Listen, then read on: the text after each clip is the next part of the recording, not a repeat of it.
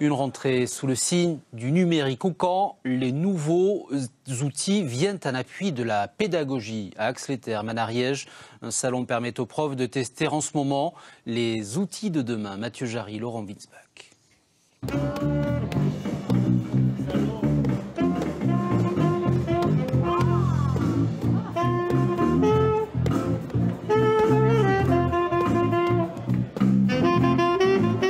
Intermède mélodique assuré par des professeurs d'éducation musicale.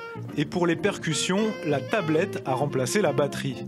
Edmuse, un collectif créé il y a deux ans à Ludovia, regroupe 70 enseignants.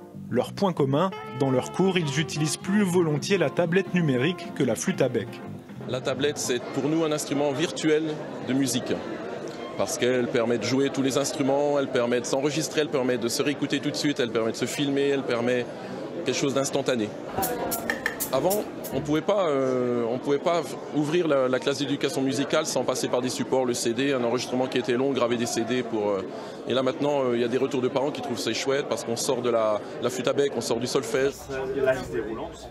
Un peu plus loin, le numérique s'accorde avec l'orthographe. Twicté, une initiative qui rassemble 400 classes francophones dans le monde entier. Les élèves interagissent grâce au réseau social Twitter et ses mots-clés et se rappellent les règles élémentaires de la langue française. Alors en pratique, ce sont des classes qui sont associées par groupe de trois pour travailler l'orthographe et qui vont échanger euh, des tweets pour corriger un, petit texte, une dictée qu'on appelle Twicté, qui est la contraction de Twitter et dictée. L'idée, c'est de se dire cette utilisation constructive, positive des réseaux sociaux. Eh bien, on va montrer aux élèves que c'est possible. On va montrer aussi qu'il y a des règles d'utilisation, notamment celle d'écrire sans erreur d'orthographe. Ces enseignants connectés trouveront peut-être à Ludovia les moyens de sophistiquer encore leurs approches, car l'événement accueille aussi de nombreux professionnels des outils pédagogiques numériques. Plus de 800 participants y prennent part pendant 4 jours. Certains élèves préparent aussi déjà leur rentrée et travaillent même parfois d'arrache-pied. Les cours privés font le plein en ce moment au prix de nombreux sacrifices, y compris pour le porte-monnaie des parents. Sandrine Merck, Pascal Dussol. Deuxième étape, Sika Galin. Reprise en main après deux mois de vacances. Ils veulent décrocher un premier bon trimestre qu'ils savent décisif pour leur orientation post-bac. La concurrence est très rude. Pour la terminale, pour avoir un bon dossier, il faut attaquer d'entrée. Surtout que les profs en terminale, ils dès le début, ils envoient pas mal. Donc, il euh, faut être prêt euh, dès le début. Les parents sont de plus en plus nombreux à payer des cours particuliers à leurs enfants et de plus en plus jeunes. À 20 euros de l'heure, le soutien scolaire est un filon. Sur ces trois dernières années, on a quand même une augmentation de quasiment 20% par année, effectivement, de, la demande. On sent quand même qu'il y a une pression euh, qui augmente, surtout sur les élèves donc avec, qui sont dans des classes à examen, donc première terminale. On ressent même cette pression maintenant chez des élèves de collège qui passent, qui passent le brevet.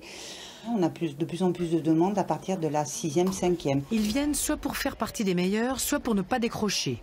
Il y a aussi les bons élèves qui viennent reprendre confiance, souvent en maths ou en physique. Elles rentrent en seconde et en seconde, même si c'est une classe qui paraît facile, ou du, enfin, du moins sans examen à la sortie, euh, c'est quand même une classe un petit peu piège et il ne s'agirait pas de perdre pied déjà dès le départ.